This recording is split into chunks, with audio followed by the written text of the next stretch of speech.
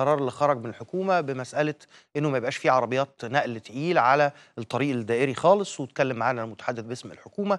النهارده خرج قرار تاني من رئيس الوزراء آه، مرتبط بمسألة حظر سير العربيات النقل التقيل اللي حمولتها أزيد من 5 طن على الطريق الدائري.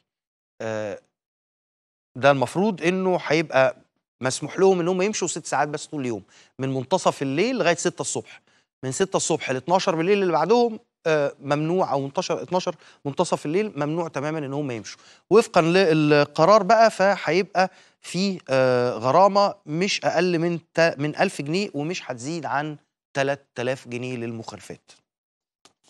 وده اعتبارا بس آه برضو ده اعتبارا من يوم 15 سبتمبر.